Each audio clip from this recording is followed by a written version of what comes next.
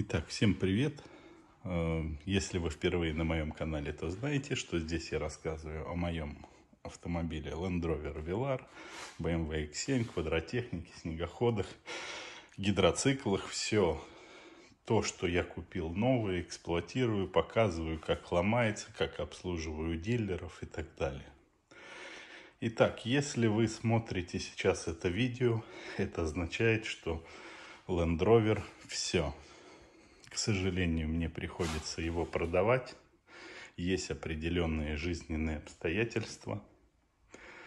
Пробег 67 тысяч всего-навсего. И как не прискорбно мне это понимать, воспринимать, я вынужден продавать машину. Не планировал ее продавать раньше 150 тысяч, но так складываются обстоятельства. Все мы знаем о некоторых санкциях, введенных в отношении РФ.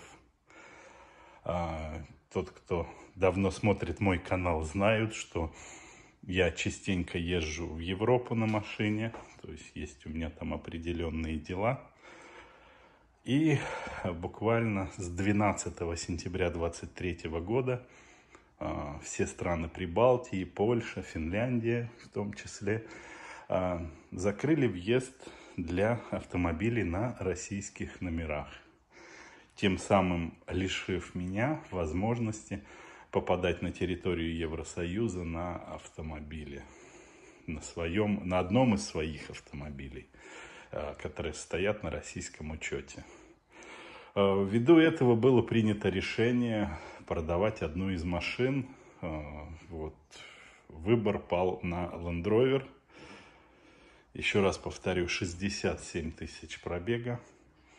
А, цену я поставил в районе 5 миллионов рублей. Снижать я не планирую, потому что машина в идеале. Есть вся история на канале, вы это знаете. И повторю, если вы смотрите это видео, значит машина уже продана. Я не хотел продажу э, сразу же предварительно, так скажем, анонсировать. Мне не нужна лишняя реклама и все такое. Итак, что по итогу? Доволен ли я лендровером, расстроился ли, что я его брал, э, разочаровался ли и так далее. Раньше я говорил, что не разочарован маркой, что доволен, а, значит, выбором и так далее. И раньше я хотел в будущем взять что-то еще более новее. На сегодняшний день я скажу, что Land Rover я брать больше не буду. Есть определенные причины. А, маркой я разочарован. Сейчас я дальше расскажу, почему, какие лично у меня были неисправности. Я считаю это недопустимым в премиум брендах, таким, как себя позиционирует марка Land Rover.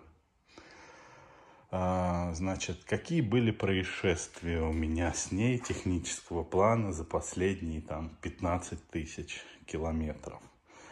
А, поехал я также в Европу, а, проезжал Воронеж и у меня, это было где-то декабрь 22 года, значит, э, отрывается, или как сказать, рассоединяется трубка, подходящая а, коробки передач. То есть масло там идет на радиатор. Так вот, вот эта трубка, где она а, прикручивается к коробке, она отошла от своего э, кронштейна, я не знаю, как это назвать, и просто вышибло масло с коробки. Пробег на тот момент был 52 тысячи километров. Эвакуатор первый раз, 52 тысячи, повторю, пробега, оттащили в Воронеж к одному из хороших сервисов по Land Rover. Ребята сняли трубку, заварили, закачали масло в коробку, и я поехал дальше успешно там поездил по Европе, проехал около 10 тысяч километров. И смотрю, у меня начал уходить антифриз. Не быстро. Где-то примерно 250 грамм на тысячу. Что такое? Подливал пару раз, а потом увидел под бампером вот здесь А с правой стороны а, капельки. Посмотрел, понюхал их и так далее, потер, понял, что это антифриз. Оказывается, вот здесь стоит э, с правой части радиатор, э, дополнительное водяное охлаждение двигателя радиатор. Он просто потек по сотам. Нет никакой ржавчины, ничего, просто оригинальный. Радиатор дополнительный потек по сотам. Ну, это полный бред, я считаю. Опять пробег там был, ну пусть 56-58 тысяч километров на тот момент. Купил радиатор в Польше, вернулся э, в Россию и, соответственно, я заменил весной 23 -го года этот радиатор. Эм, все на сегодняшний день, проблемы все решены. Я понимаю, что это, возможно, какие-то заводские были недочеты, которые вылезли там, грубо говоря, к 50 тысячам километров. Все это пришлось испытать мне как первому владельцу. И я уверен, что никаких сюрпризов у нового владельца с этой машиной больше не будет. Потому что, как ни крути, достаточно хорошие отзывы по Вилару. Ну, реально современнейший внешний и наружный вид – Двигатель здесь дизельный, двухлитровый, 180 а, сил. Здесь есть спортивная программа, на кнопочку нажимаешь, включается. Спортивная программа также на коробку отдельно включается. Машина становится очень резвая, собранная, отличное руление, а, прекрасная шумоизоляция. А, машина, по мне, так Э, еще будет служить долго и долго, что я и планировал делать. Еще раз говорю, раньше 150 тысяч я даже не планировал ее продавать.